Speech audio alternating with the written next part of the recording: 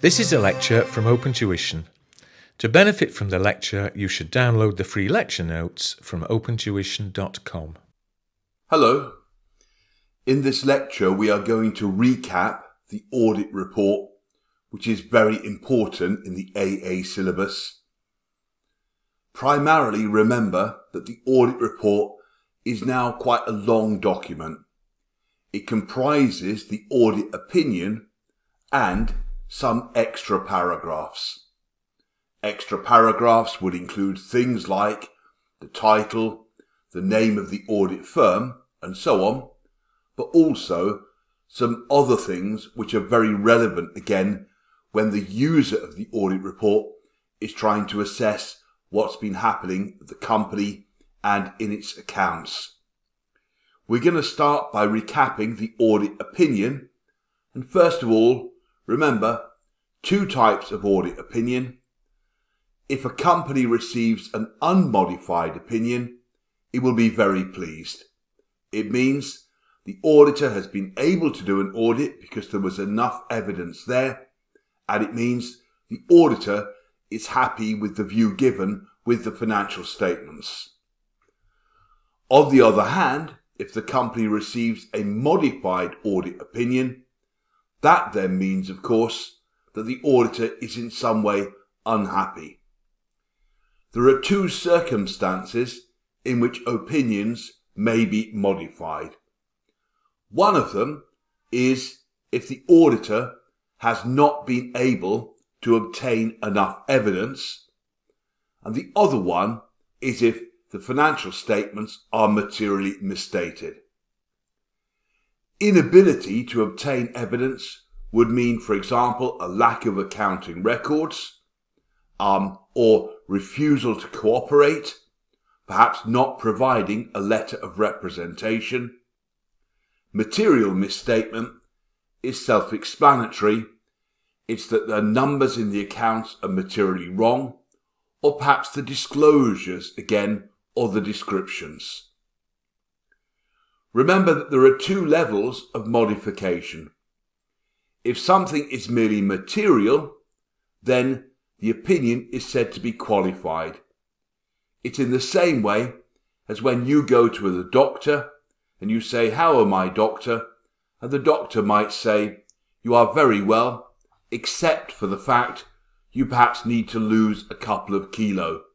So they're actually giving an opinion and saying, except for something, like inventory or whatever, everything is fine.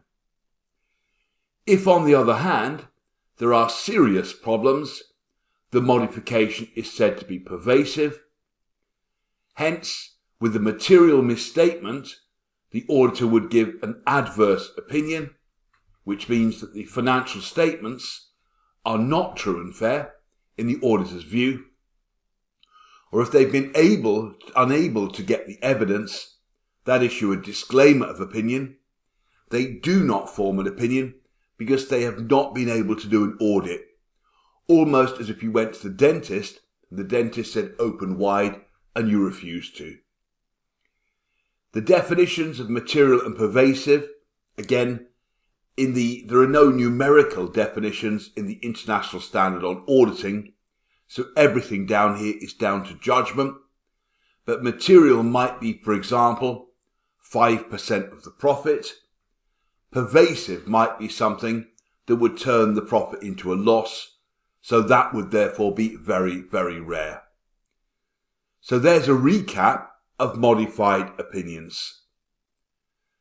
As we said though, the audit report is the opinion plus extra paragraphs. So let's recap what those additional paragraphs are. This slide shows the most important three. The first one, material uncertainty relating to going concern. So perhaps there was again a worldwide pandemic, pandemic 2019 for a couple of years again. That would have caused big worries in the hospitality industry, hotels, restaurants, and so on. So it doesn't mean the accounts uh, that the company will not continue, but there are significant concerns about whether it will be able to.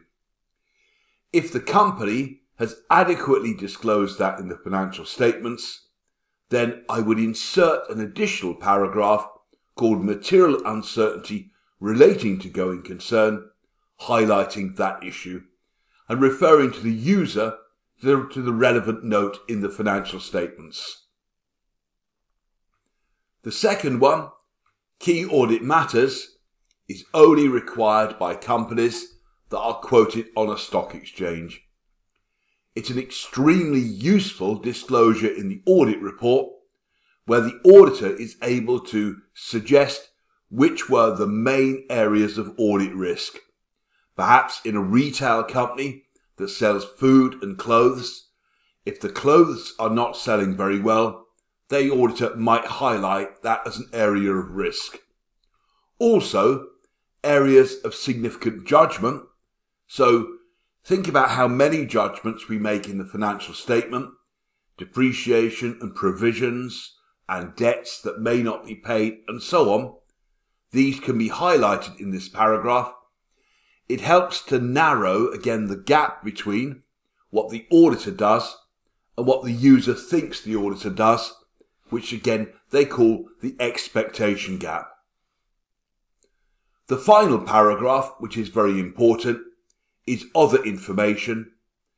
The financial statements will be issued alongside other documents, whether in hard or soft copy, a director's or chairman's report, environmental report, governance report, um, again, plus pictures of everyone who matters in the company, so photographs.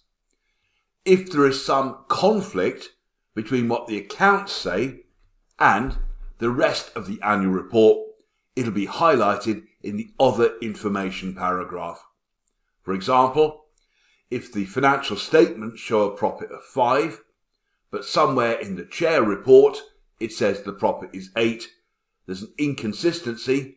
If the accounts are right, the chair report is wrong, it'll be highlighted in other information. The other two paragraphs that I'd mention are less significant these days. One is called Emphasis of Matter, and the other one is Other Matter. Emphasis of matter, as it says here, is something that has been disclosed in the accounts, that is regarded as fundamental to users' understanding.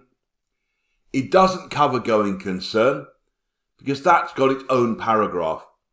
Therefore, it becomes difficult to think of examples. I suppose examples would be something like uh, the early adoption of a new accounting standard, or maybe, again, some significant legal claim that's very big, but nevertheless not big enough to impact ongoing concern. Other matter, again, less significant again, but this is something which the auditor regards as relevant to the user's understanding, not mentioned in the accounts, that might be used again where there is, for example, a change of audit firm. Let's look back again just for a moment. Audit opinion plus additional paragraphs. Audit opinion, unmodified versus modified. Modified is the bad one. Two reasons for modification. You can't get the evidence and material misstatement.